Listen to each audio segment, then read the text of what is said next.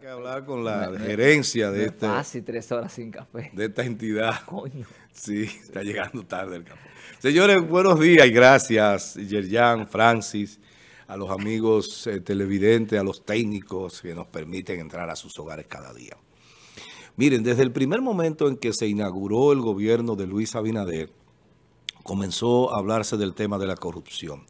El tema de la corrupción es un tema recurrente en la República Dominicana, pero paradójicamente, para que no nos llamemos a engaño, en épocas de elecciones, cuando se hacen las encuestas, que son estudios científicos, y yo pienso que tanto Francis, que está más ligado que nosotros al tema de la ciencia, de la investigación, en ese sentido, de la... Mercadotecnia. Y la, ¿Cómo se llama? Mercadotecnia, exacto.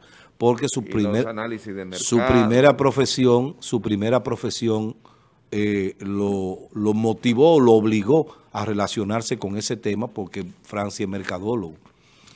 Y eh, indudablemente que son estudios científicos. Eh, por supuesto, el hombre detrás de esos estudios científicos puede manipular la- la- las muestras y si manipula la muestra, pues va a manipular el resultado.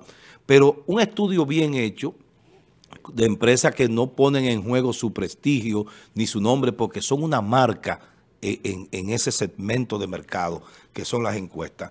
Eh, regularmente decían que el tema de la corrupción ocupaba un, un lugar muy mínimo comparado al- al- a lo que la gente de manera normal hablaba y criticaba la corrupción. Sí.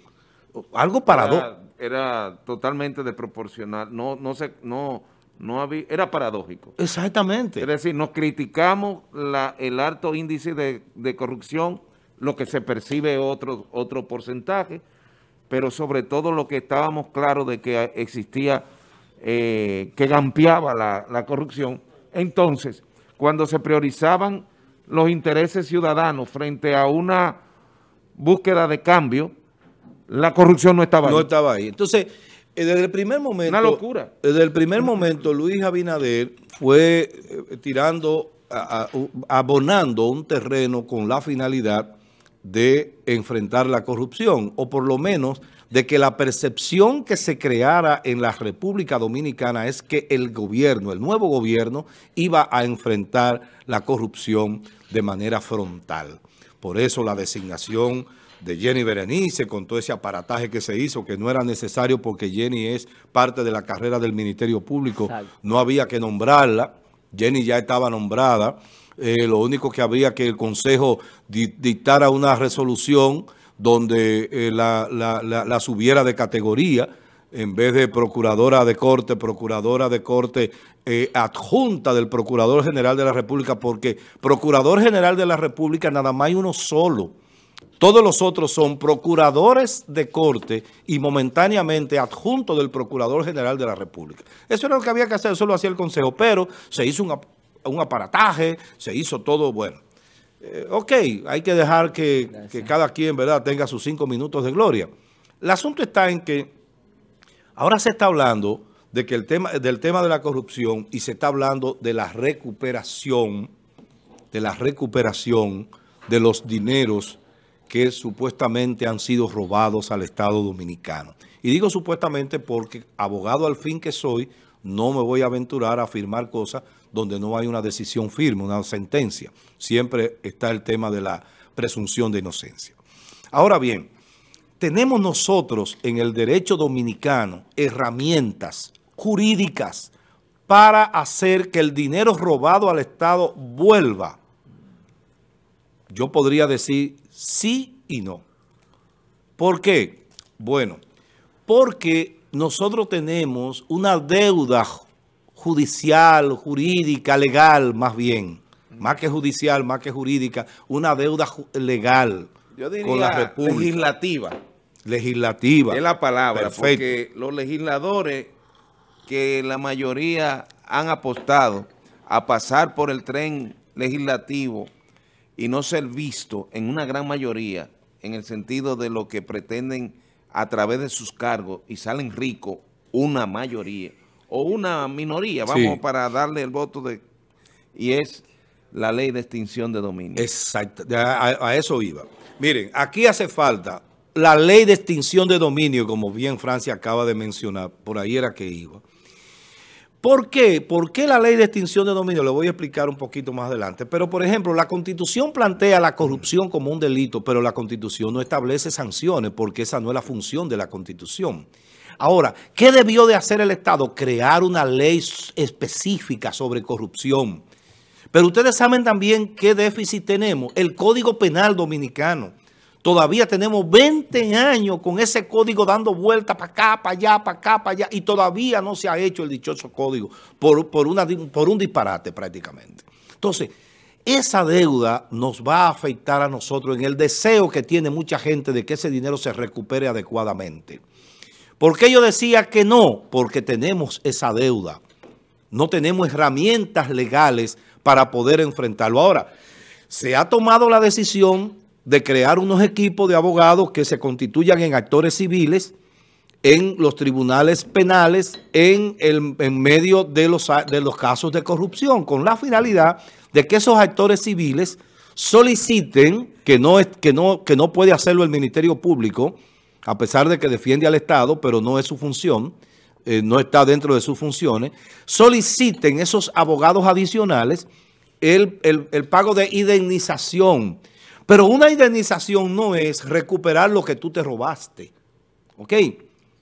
Sino la calificación de un daño causado. Exactamente. El, juez tendría que decir, bueno, el daño que ha provocado al Estado Dominicano, el hecho de que fulano se haya robado esta cantidad de, dinero es que no ha permitido que se construya un hospital en tal sitio, una carretera en tal otro, un camino vecinal en tal otro, y eso constituye 100 millones de pesos. ¿No se configuraría también la de el soborno o la sobre, sobrevaluación mm. de una obra que fue licitada a un precio y que en la evaluación conllevaba otro precio? Es decir, la evaluación real sale en 10 pesos y se llevó a una construcción 30. 30. Es decir, que estamos hablando... Una sobrevaluación, que la sobrevaluación, eso es prevaricación y desfalco. Exacto. Y el desfalco, entonces yo diría que es el daño causado al erario público y es el monto que habría que quitarle. El otro aspecto es que pudiera ser, porque es la, única ley, el, el único estamento legal que te permite recuperar bienes es la ley de lavado. Pero ¿qué pasa con la ley de lavado? que la ley de lavado dice que para que se produzca su, violación debe haber un, delito precedente y tú coger ese dinero y convertirlo en, en, dinero bueno. Es decir, yo, yo, yo vendo droga, yo vendo droga o vendo órganos o hago cualquier tipo de delito. De desgracia de esa de la, de la raza humana. Exacto. Cuando, cuando lo que produce ese delito que yo estoy cometiendo, yo, yo cojo y compro una cafetería o compro un carro y lo pongo a conchar o compro un carro y hago una línea de taxi. Por ejemplo, compro varios carros y hago una línea de taxi. El producido es esa, esa, esa línea de taxi eso que yo compré, esa cafetería que compré, es el lavado. producto del lavado. De... Es lavado. Lo primero que tengo que demostrar es que existió un delito precedente, porque sin el delito precedente, el lavado no funciona. Y entonces me pueden quitar eso, pero yo tengo que probar que todo lo que hay ahí es dinero proveniente de ese delito, porque de lo contrario caería dentro de, de dinero bueno y el derecho de propiedad no te permite que te lo quiten. O sea, siempre se va a recuperar solo una parte. Por eso he traído este tema, porque quiero que la gente entienda que las cosas no son tan fáciles como se vende. Que, ah, que fulano, Alexis se robó, dicen que se robó, que yo cuántos millones. O que fulano, sutano, o mengano o perencejo se robaron tantos, cuántos millones de pesos. No lo vamos a recuperar así por así. ¿Ustedes saben por qué? Porque si estuviéramos una ley de extinción de dominio, ¿saben qué es la ley de extinción de dominio? La ley de extinción de dominio, bueno, Vamos a comenzar por el derecho de propiedad. ¿Qué dice la ley del derecho de propiedad? Este teléfono es mío. Yo tengo en este teléfono eh, unos elementos, unos atributos de la propiedad. Los atributos de la propiedad. Uso, abuso y me falta otro. Uso, abuso y disfrute. Y disfrute. Ok, de la, de la cosa. Yo puedo usarlo, yo puedo disfrutar de ella, pero yo también puedo traerlos y me da la gana y nadie se puede meter con eso porque eso es el abuso. es un acto de violencia tuyo. Bueno, está bien. Pero, es una forma de ilustrarle a la gente que es el abuso del derecho de propiedad. Que usted lo desbarate, que usted meta, usted se mete, usted meta lo suyo en un saco si usted quiere y lo tire por el puente. Ese es su problema. Entonces, esa ley lo que hace es que le quita esos privilegios al propietario de la cosa para que no pueda utilizarlo y la cosa queda en stand-by hasta tanto se demuestre que esa cosa fue robada al Estado Dominicano o fue robada de alguna forma o fue obtenida de, de alguna manera ilegal, ilegítima. Mientras eso ocurre, esa cosa no puede ser tocada y usted no puede usar, abusar y disfrutar de, ni disfrutar de la cosa. ¿Eh? Entonces, eh, esa ley de extinción de dominio, usted sabe los años que, que tenemos hablando de eso en el Congreso. Y ustedes saben por qué. Porque los propios legisladores, una gran mayoría de ellos, se ven en el espejo de que esa ley podría aplicársele a ellos de manera directa. Y esa ha sido la razón esa ha sido la razón efectiva por la que aquí no ha habido una ley de extinción de dominio, como tampoco ha habido un código, un código penal moderno y, con, toda, con toda la visión del, del, mundo actual, de la teoría del delito, que es lo que nosotros estamos manejando en estos tiempos en el derecho penal. Porque los legisladores de alguna manera se ven reflejados en el hecho de que tal vez esa ley me la apliquen a mí mañana.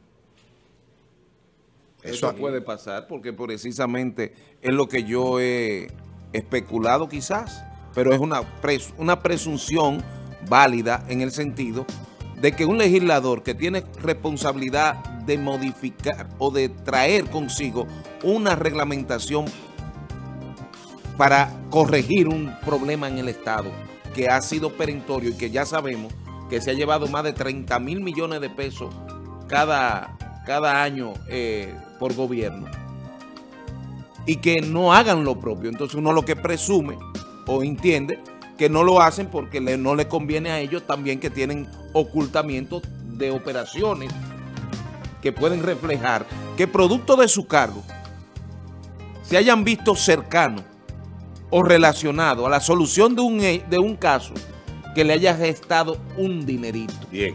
Y eso para, para fines es en millones. Eso puede pasar. Mire, pienso que... Y a ellos no les interesa que haya una ley de, extinción de dominio porque es quitarle lo que se han conseguido a base de lo que son operaciones fraudulentas. Pienso que es una estrategia interesante el hecho de nombrar de defensores civiles del Estado Pero, que participen con la finalidad de lograr la recuperación, aunque sea de esa manera, de lo que se le desfalcó al erario público. Es decir, pero también pienso... Según el artículo 50 del Código Procedimiento Penal, ¿quiénes pueden constituirse? Y en este caso el Ministerio Público... la víctima, el Estado es víctima de la corrupción. Entonces, pero entonces, en cierta forma, eh, sería un, hecho en que reclaman la, la parte civil que va a mantenerse en estado hasta tanto concluya lo penal, que es el resultado final de lo que pero No, pero la acción se puede llevar conjuntamente, con la acción penal. y el juez penal puede disponer esa decisión, puede disponer la, el, Ahí es, la recuperación. Esa es la parte de la explicación que requiere muchos de estos temas, porque he escuchado a, a personas o comunicadores que han querido meterse y siendo abogados, creo que han errado un poquito en su concepción. No se puede constituir como actor civil en el proceso penal y así se conocen tanto la acción civil, que es la de recuperación del daño causado, y la acción penal, que el Ministerio Público no puede llevar la acción civil, pero sí la penal, incluso lo hace a favor de la víctima. Pero en, en definitiva creo que es una estrategia. Ahora, la mejor estrategia que puede poner en práctica este gobierno y este país es crear la ley de extinción de dominio, porque no estuviésemos ahora teniendo ese quebradero de cabeza, ni cobrando, ni cobrando a media lo que le corresponde al Estado. Tuviéramos ahora, mediante el mecanismo que esa ley establece, tuviéramos definitivamente diciendo la empresa tal tiene que pasar a favor del Estado porque el caso, es propiedad del Estado porque se la robaron. ¿Ustedes recuerdan el FOMPER? Sí, sí, sí, no. 10 mil millones de pesos debió de pagar las EDE al Estado Dominicano y se volvió un tollo. Y Danilo no lo, no lo Señores, procesaron. Domínguez Brito era, el hermano de Domínguez Brito Era el abogado. Señores, Qué bonito. muchas gracias. Yo pienso que no, no nos llamemos engaño ni tampoco no- nos pasemos de contento. Eso no va a ser tan simple. No es así. No es tan simple como se ve. Bueno. Gracias. Gracias, Amado, por su comentario del día de hoy. Vamos